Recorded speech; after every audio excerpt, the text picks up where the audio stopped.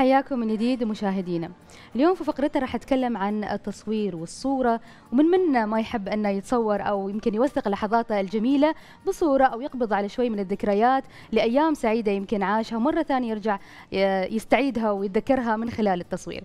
اليوم ضيفنا أيضا مصور محترف بدا التصوير من عام 2012 نرحب مع المصور الفوتوغرافي حميد الحوسي اللي راح يكلمنا أكثر أكيد عن مهنة التصوير. يا مرحبا بك. يا مرحبا بكم والله يرحبكم. فضلا ومشكورين على الاستضافة الجميلة هذه. حياك الله الله. يحفظك. حميد يحييك. أول سؤال يعني نبغى نتكلم فيه. ليش تصور أساسا؟ آه، تنمية موهبة في ال- تنمية زين. أوكي. الحين إحنا نتكلم فعلا. الناس هذا السؤال غريب. إحنا قلنا إيه. كل واحد يصور. آه والآن كل الناس أصبحوا مصورين. ولكن التصوير له مقاييس وله آه طريق طرق وله عين المصور أهم من أي شيء ثاني. صحيح. فخبرنا عن عين حميد وكيف حميد فعلا يصور ومتى يصور. هني بتي معنا ليش أصور. دائما أي مصور مثلا إذا قتلنا أي شيء وحتى اللي في البدايات لما يستخدم التليفون دائما يشوف أشياء تشده. نعم. مثلا في ناس يصورون انعكاس في ناس يصورون مثلا الغروب في ناس يصورون الأمور فمع الوقت هذه خلاص يتخصص بشيء فتحس إنه يكون في إحساس بينه وبين الصورة جميل. بينه وبين اللحظة. قال كلمة جميلة الغروب يعني. كل حد أكيد ما في حد أنا أعتقد على وجه البسيطة إلا وصور الغروب الغروب. الشروق. نعم. لابد أنه يكون ح- يعني مر بهذه المرحلة. صحيح. ومنها يقولوا له أنت مصور زين ويشتغل. نعم. أو إنه منها يقولوا له. لا ما له خاص في التصوير خليك أحسن في البيت. صحيح. طيب. طيب حميد اليوم يعني إحنا نشوف مصورين كثار في بعض منهم مصورين محترفين وبعض منهم مصورين هاويين. كيف ممكن أفرق من بين الاثنين؟ المصور الهاوي اللي هو مثلا يصور مثل ما يقولون آه، كموهبة عادية يعني له. أما المحترف هو اللي مثلا اللي ينميها على أساس إنه يفتح له مشروع آه، يكون في دخل له من عن طريق التصوير. هذا اللي يفرق هنا بينهم. جميل. طيب أكثر شيء يعني إحنا نتكلم عن الكاميرات. تعتقد بأن ال- ال- الهاتف المتحرك ممكن أن يحل بما أن الحين وصلنا إلى تكنولوجيا قوية جدا وحتى ال- إمكانية التصوير من خلال عدسات هذه الهواتف عالية جدا وصلنا ال 4K نعم. ممكن تحل في يعني في كثير من التصاوير مكان الكاميرا وعدسات الكاميرا؟ وجهة نظري لا. ما يقدر. لا ما تقدر لأن الكاميرا فيها إعدادات فيها سيتنج داخل مهم. فيها قوة آه، الضوء والظل يعني فيها فرق بينه وبين التليفون. طيب. نت- نتكلم نبغى نعرف شوية الفروقات بين الكاميرا وبين الموبايل. يعني الكاميرا تقدر تعطيك يعني كيف أقول لك استاذي مثلا إن عندك طبعا عين الإنسان هي العين الوحيدة يعني اللي تقدر تشوف الظل والضوء في نفس الوقت. نعم. أما الكاميرا والتليفون فقط إنه يا تصور لك الضوء يا تصور لك الظل. فبالهاتف ما تقدر أنت توازن مثلا بين الظل نعم. وبين الضوء. نحن دائما في الكاميرات نستخدم صورتين. إذا كنا نصور الشمس مثلا صورة للشمس صورة للأرض. بعدين أيوة. ندمجها عن طريق. برامج المعالجة هذه. جميل. طيب آه، نحن بعد قاعدين نشوف أكيد أعمالك على الشاشة قاعدة تعرض الحين. ومن هذا آه، من هاي الصور أبي أسألك شو الأشياء اللي تستهويك إنك أنت تصورها أكثر شيء؟ آه أنا صراحة أحس إني أميل للطبيعة أكثر للجبال للأنهار للشلالات. وفيها صعوبة ترى. نعم جدا. صعبة. تحب متعبة. تغامر يعني تروح أماكن مثلا مرتفعات تروح بلاد أخرى عشان تصور هذه الأشياء نعم الصور هذه أخذتها أنا في النرويج شهر ثلاثة الماضي وكانت الحرارة وصلت عندنا سالب 20 مم. كان يعني في صعوبة كبيرة في التنقلات والمشي و...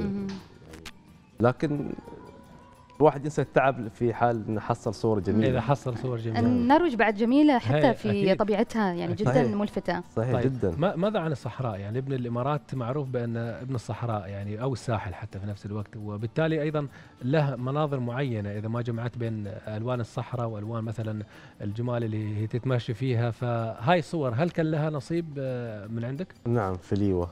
في مم. ليوة. رحت مرتين لليوة والحمد لله طلعت بع... آه... تقريبا بخمس أعمال يعني مرضية لي أنا. ما شاء الله. مهم. الأعمال جمعت بين شو؟ آه بين آه رمال ليوة و... والجمال. نعم.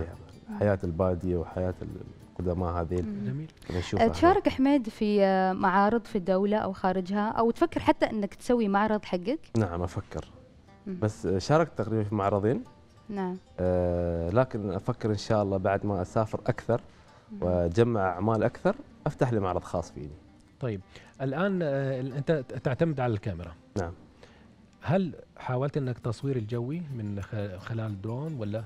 لا والله بس أنا أفكر ادخل في الموضوع لكن كثر ما يقولون الشباب يعني إنه ممنوع هنا وفي صعوبة في لا في الصحراء ما حد يجيك. إيه. مرة الصحراء هو المكان ما حد- الوحيد ما اللي- حد بيجيك. اللي تقدر تصور فيه. أكيد طيب. الكاميرا اللي استخدمها شو؟ خلينا الجمهور بعد يعرف عن تفاصيل الت- التصوير من خلال اللي استخدمها Canon ال Canon. Canon 5D 5D جميل. طيب إذا بنتكلم يعني عن ناس مبتدئة يعني أنا مثلا واحدة حابة التصوير وايد لكن بعدني على التليفونات. وابى يعني أدخل مجال التصوير يمكن كهاوية. فشو تنصحني في البدايات؟ أو مثل ما أنت سويت يعني يمكن في البداية اسمح لي أقدم لها نصيحة؟ نصيحة أنا؟ أول قول يا عبد في الله هاي كاميرا صغيرة تضربينها وتنزل الصورة مرة من تحت الفورية؟ هاي الفورية تسوين شي عقب تشوفين الصورة تقولين أكمل ولا ما أكمل أكيد النصيحة عندك فعلا آه، في كاميرات. مش آه، يعني رخيصة مش الغالية هذه آه.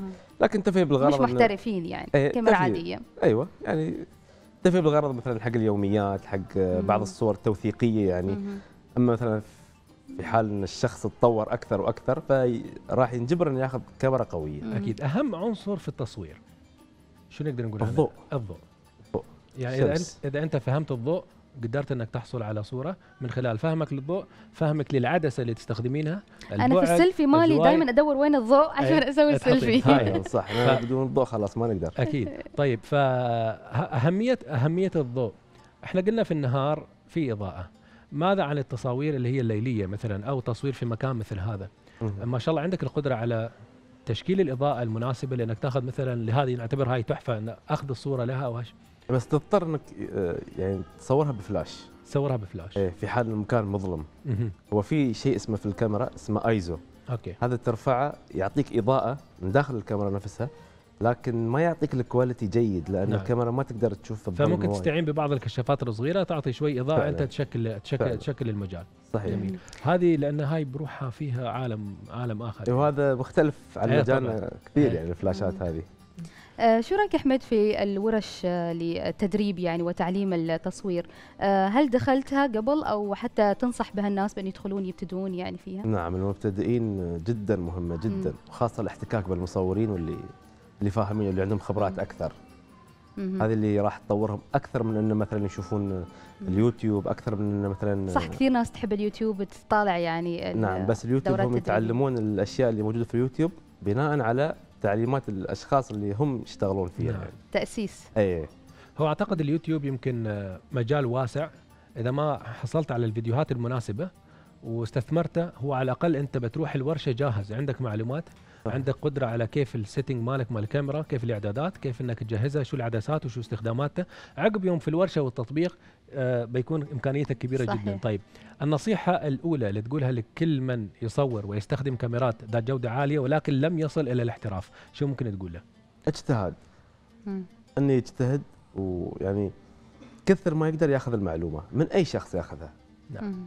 أصحاب الخبرة والورش ويحتك بالمصورين من كل النواحي ياخذ يعطيك المعلومه إن. شاء الله وراح يوصل. أكيد.